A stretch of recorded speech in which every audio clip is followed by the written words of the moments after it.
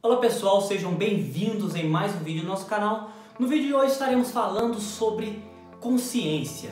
O que vem a ser consciência dentro da física quântica?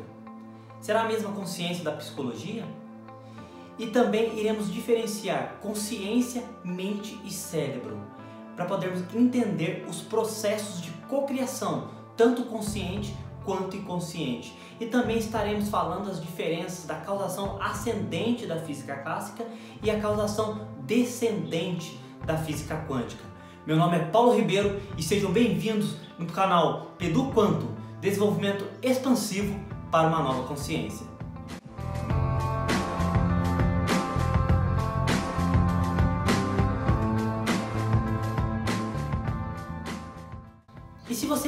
Se inscreveu no nosso canal, já se inscreva aqui, deixe o seu like, porque o seu like ajuda a fazer que o nosso canal cresça e desenvolva mais conteúdos inteligentes para você. Então, agora vamos começar a entender o que vem a ser a consciência dentro da física quântica. A consciência da física quântica, ela está relacionada com algo transcendental, algo além do espaço-tempo. Então, nós podemos entender a consciência dentro da física quântica quando os físicos dizem a consciência cria tudo como o espírito ou como sendo Deus. Nós podemos dar o nome que nós quisermos, mas para fins científicos nós usamos o termo consciência, mas não uma consciência que surge através da mente, mas uma consciência que existe independente de qualquer mente. Então, esta é uma consciência absoluta quando falamos na física quântica. E também temos a consciência relativa, que é uma consciência que está dentro da consciência absoluta. Nós podemos chamar essa consciência de, de, de processos cerebrais. Então nós temos que compreender as diferenças entre consciência absoluta e consciência relativa. Então nós temos uma consciência relativa que está dentro de uma consciência absoluta. É importante entender também que quando nós falamos de consciência, nós estamos falando de algo indefinível, algo que não dá para ser definido, algo que não dá para ser descrito. É a mesma coisa de falar de Deus. É, as pessoas que falam muito sobre Deus, Deus é isso, Deus é aquilo, elas não entendem do que elas estão falando, porque é, um, é algo indefinível, é algo que por palavras não tem como a gente a gente abstrair essa ideia em palavras é muito difícil. O próprio Buda e Jesus Cristo, por exemplo, quando eles eram questionados o que vem a ser Deus, eles silenciavam, porque está além do entendimento do homem. Aliás, os iluminados eles conseguem só sentir o que vem a ser essa consciência, mas eles não conseguem expressar o que vem a ser essa consciência por faltas de palavras. A nossa comunicação, a nossa linguística é muito limitada. Então, eu só quero que nós entendamos que consciência dentro da física quântica é algo transcendental, algo além do espaço, algo além do tempo e da matéria. Então, a partir disso, a gente pode entender o que vem à mente. Já que existe uma consciência que envolve tudo, inclusive a nossa consciência relativa, é, existe também a mente. O que vem a ser a mente? A mente é o software é como se a consciência criasse uma mente para que ela se pudesse manifestar no espaço e no tempo. Então, a, a consciência é como se fosse o programa. E o cérebro é como se fosse o hardware. É como se fosse é, a máquina que envolve essa mente, que envolve essa mente e que a consciência tanto é, absoluta, ela pode manifestar através dos processos cerebrais da mente e tudo mais. Então, é, a mente é como se fosse é como se fosse a individualização dessa consciência absoluta. E a partir dessa individualização dessa consciência absoluta, nós temos a nossa consciência relativa, a consciência da própria mente, consciência do próprio corpo e a consciência da própria matéria em si. Entendido isso, passamos agora a entender o que a física clássica chamava de causação ascendente. Causação ascendente ela vê a nossa consciência como um epifenômeno da matéria. O que vem a ser isso? Que tudo se dá através da matéria. Então, segundo a física clássica, a nossa consciência ela advém de processos materiais. Ou seja, a matéria é a causa de tudo. E a partir disso surge a nossa consciência. É, utilizando agora os exemplos de cérebro, mente e consciência, é como se o cérebro, que é a máquina, ela cria a mente através de processos cerebrais totalmente físicos e a mente cria uma abstração dessa consciência. Então, segundo a física clássica, não pode existir uma consciência se não existir o cérebro. Então, a matéria é a causa de tudo dentro da causação ascendente da física clássica. E na causação descendente da física quântica, a consciência é a causa primordial de tudo. Ou seja, a matéria é um epifenômeno da consciência. Então a consciência cria, primeiramente, a mente, onde ela possa se manifestar, e após isso ela cria um cérebro onde essa mente possa atuar no espaço e no tempo. Então, a consciência ela é o primordial dentro dessa visão de causação descendente, ou seja, não existe nada se não existir uma consciência que o observa. Em termos simples, é como se Deus fosse uma consciência que emana sobre tudo. E a partir da consciência de Deus surge a consciência relativa, surge os processos mentais onde a gente se individualiza e criamos o nosso cérebro para que a mente possa se manifestar no espaço-tempo. Então, basicamente, é Deus experimentando, é, experimentando a experiência terrena através de uma mente e através de um cérebro. Então, na causação descendente, Deus é a causa de tudo, ou a consciência é a causa de tudo. Enquanto na causação ascendente, a matéria é a causa de tudo e a consciência ela deriva de processos mentais. Então, por que que na física quântica nós falamos muito de criação consciente, de como criar a nossa realidade conscientemente? E porque na maioria das vezes nós estamos criando a nossa realidade inconscientemente. Então, é, falando em termos simples, para melhor entendimento de todos, quando nós criamos conscientemente, vou dar um exemplo. Vamos supor que eu quero manifestar um carro na minha vida.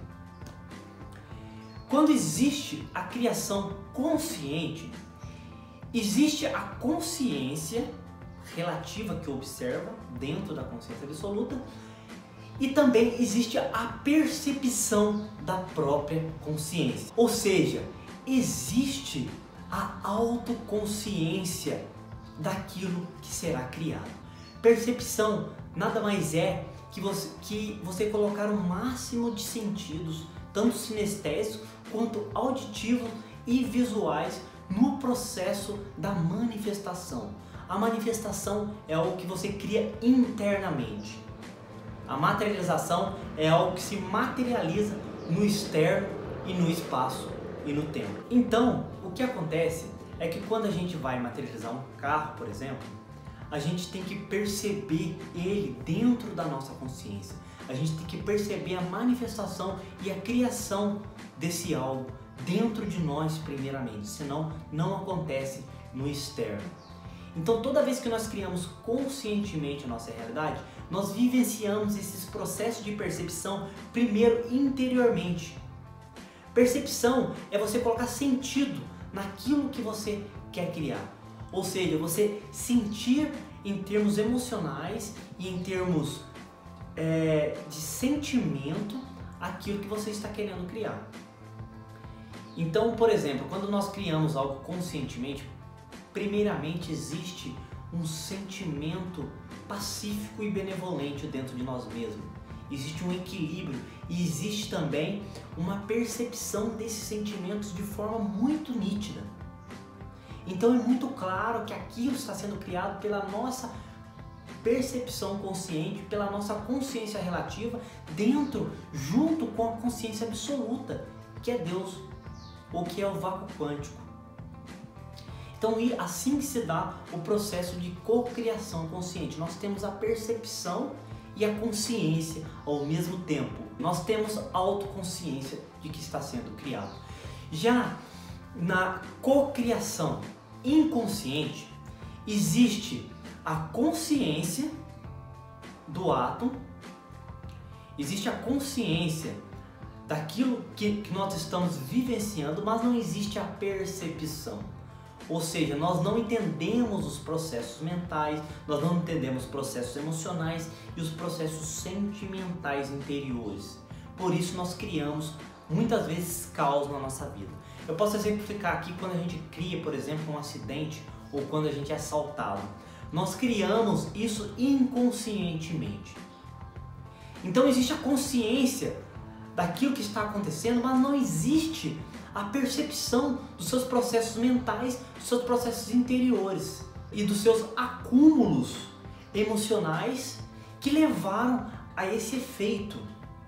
Então a causa de tudo é a manifestação interior, ou seja, é os nossos processos emocionais, é o nosso estado. Qual é o seu estado que você vive? É, a, qual é a média dos seus estados emocionais no decorrer de uma semana, por exemplo? A média desses estados emocionais que você vive em uma semana será a média da sua cocriação, tanto inconsciente quanto consciente. Então, se você está sempre num estado ótimo, está sempre se sentindo bem, você vai, pode criar consciente tanto inconsciente. Mas de qualquer modo, a sua criação será benevolente, será pacífica, será harmoniosa. Se você estiver vivendo estados e processos mentais equilibrados. Tá? Agora, se a gente vive estados e processos mentais no decorrer de semana totalmente desequilibrados, tanto as criações conscientes quanto as criações inconscientes vão ser desarmoniosas e vão contra, no, contra o fluxo e contra aquilo que nós desejamos. Então uma pessoa que ela está muito harmonizada, que ela está muito tranquila, muito pacífica, até inconscientemente ela cria coisas boas. Ela não sabe, mas ela está manifestando coisas boas o tempo todo.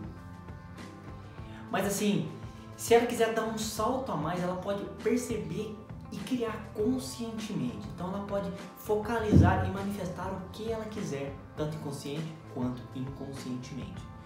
Agora vamos falar dos dois níveis de consciência. Então, o primeiro nível de consciência é quando você está consciente. Estar consciente, ele quer dizer que você está identificado com algo. Então eu estou consciente de, eu estou consciente de uma cadeira, eu estou me identificando com essa cadeira. Eu estou consciente do meu time, eu estou me identificando com o meu time, tá? Quando eu estou consciente de, não existe a percepção. Pois eu não estou percebendo os processos mentais que acontece no meu interior, meus processos emocionais e assim por diante. Então existe a identificação absoluta com aquilo. Agora, ser consciente de é você ser consciente que você não é a sua consciência relativa, que você é a sua consciência absoluta.